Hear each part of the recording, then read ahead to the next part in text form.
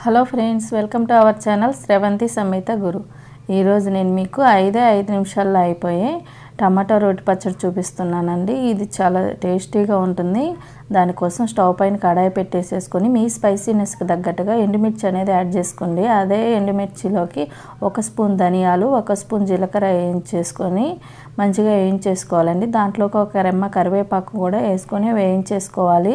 ఇప్పుడు లాస్ట్లో దింపే ముందుగా పావు టీ స్పూన్ మెంతులు వేసుకొని ఫ్రై చేసుకుంటూ ఒక నిమిషం పాటు సరిపోతుందండి. ముందుగా ఫ్రై చేసుకుంటే అవి మాడిపోయి చేదు వస్తుంది ఇప్పుడు అదే కడాయిలోకి మనం ముందుగా తీసుకున్న నాలుగు మీడియం సైజు టమాటాలని ఈ విధంగా ముక్కలుగా కట్ చేసుకొని యాడ్ చేసుకోవాలి. ఇందులోకి ఒక స్పూన్ ఆయిల్ అనేది యాడ్ చేసేసి ఒకసారి అంతా కలుపుకొని మనం వీటిని మగ్గించుకోవాలండి. ఇలా మగ్గిన తర్వాత దాంట్లో కొంచెం దింపే ముందుగా చింతపండు అనేది కొద్దిగా వేసేసి పండు కూడా జ్యూసీగా అయ్యేంత వరకు ఒకసారి ఒక నిమిషం పాటు ఇలా ఈ విధంగా ఉడికించేసుకోవాలండి. ఇప్పుడు మనం ఫ్రై చేసి పెట్టుకున్న ఎండుమిర్చిని రోట్లోకి తీసుకొని మన టేస్ట్కి తగ్గట్టుగా సాల్ట్ అనేది యాడ్ చేసుకొని ఈ విధంగా అంతా ఒకసారి దంచుకోవాలి. మీరు దా రోట్లు లేని వాళ్ళు మిక్సీలోనే వేసుకొని చేసుకోవచ్చండి.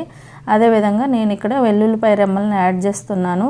ఇవి కూడా ఒకసారి అంతా కలిపి దంచేసుకొని మనం ముందుగా మగ్గించి పెట్టుకున్న టమాటాలను అనేది ఈ కారపొడిలోకి యాడ్ చేసేసుకోవాలండి.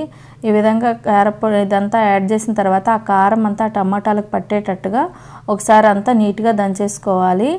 ఇప్పుడు ఈ టైంలో మీరు ఒక టేస్ట్ అనేది చెక్ చేసుకొని సరిపోకపోతే సాల్ట్ అనేది యాడ్ చేసుకోండి. స్టవ్ పైన కడాయి పెట్టేసేసుకొని రెండు స్పూన్ల ఆయిల్ అనేది యాడ్ చేసి జీలకర్ర ఆవాలని యాడ్ చేసేసి ఇది కరివేపాకు ఒక రెమ్మ యాడ్ చేసేసుకొని మనం కొంచెం పసుపు అండి మీకు పసుపు వేసుకోవడం ఇష్టం లేని వల్ల అవాయిడ్ చేయొచ్చు. అదేవిధంగా మనం ముందుగా దంచి పెట్టుకున్న పచ్చడిని అనేది ఆ ఆయిల్లోకి వేసేసి పోపు పెట్టేసేసుకోవడమేనండి. ఇంతే అండి ఎంతో టేస్టీగా ఉండే టమాటా రోటి పచ్చడి అనేది రెడీ అయిపోతుందండి.